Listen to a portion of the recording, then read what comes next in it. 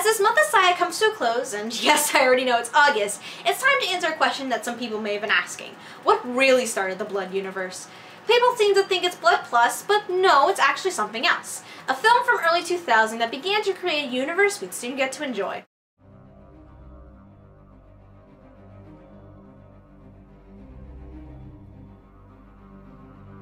Blood the Last Vampire is an action horror film from Production IG and director Hiroyuki Kitakubo and was released in theaters in July of 2000.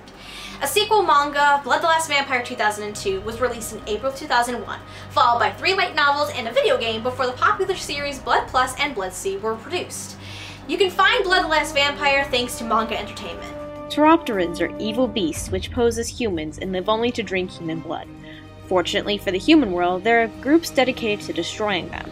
A brooding and mysterious girl named Saya is the best Pteropteroid slayer there is, and now, in 1960s Japan, she is sent to a US Army base which may be infested.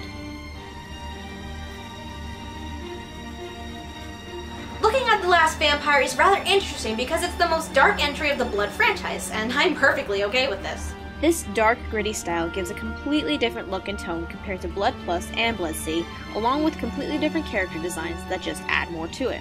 Honestly, I think it looks amazing. The animation manages to create a certain tone that the film follows over the course of 50 minutes, so you can't knock it for its lack of consistency. As for the soundtrack, it's a lot of stereotypical horror tracks you see in anime nowadays, but coming from a 2000 film, I'd say this isn't a bad thing. The big question that comes to mind when talking about the story is how the hell did they manage to create a good enough story for a 50 minute film? It basically takes this on by creating a simple Monster Hunter story and doesn't go into as many details and plot. This means there are much less plot holes left by the end, though we do still have some questions as to the Pteropteroids and Saya's existence. I feel like this was a purposeful move because this leaves room for a sequel or another adaptation to come along and continue the story. And as we've seen this past month, it worked.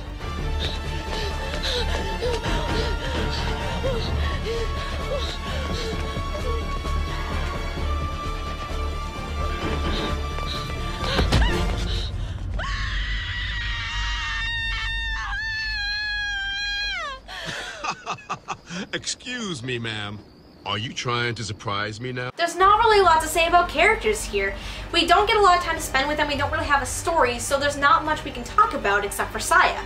This iteration of Saya is a lot more dark and brooding than her Blood Plus and Blood-C counterparts. If we were to trace the film and the TV series, this was before Blood Plus Saya loses her memory as to who and what she is, so this makes sense. I mentioned before that the film leaves questions about Saya's existence, so this contributes to her character quite a bit. The fact that we have almost no idea who this girl is or what she is makes her a mysterious character which, once again, I feel is a ploy to get viewer interest in order to gain more adaptations. It's a smart move for the long run, but then again, it's not, because if the franchise never grew, we'd be sitting here talking about how badly developed Saya is instead of prepping for more of the franchise. Take a look inside. Hey! Save it. Oh, Jesus. Saya, get a hold of yourself now! Not the same thing again. Do you want to announce it to the whole world? The language track is actually rather interesting to talk about because it's a mix of both Japanese and English.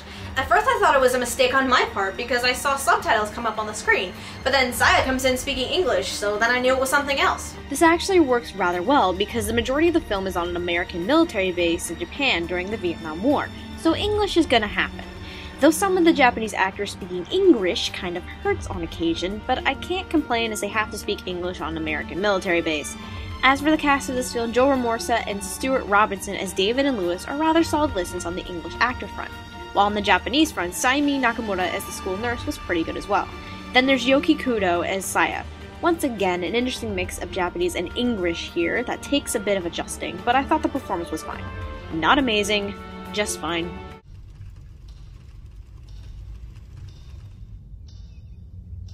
And this is all I know. I've told you everything I've seen with my own eyes. Even though I'm not sure you believe me. By the end of The Infestation, Blood the Last Vampire is an interesting introduction into the Blood franchise. The animation is solid, the language track is rather interesting, and it's easy to get through. The story and characters are much to be desired, but it's not a bad thing, as it does give us just enough information to possibly be interested in the other adaptations. Give this film a try if you're a fan of the Blood franchise, or if you just want a sneak peek into it. Next time, we teach some gods a thing or two about humans. Until then, otaku on, my friends.